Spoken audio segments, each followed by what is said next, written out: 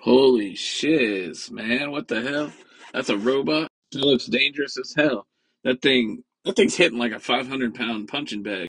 Is that how much it is? Is it 300 or 500? I don't know. It look like maybe it's 500, but it, it's moving that thing like it's nothing. That's crazy. Them are some hard ass punches. What do you guys think about it? Let me know in the comments.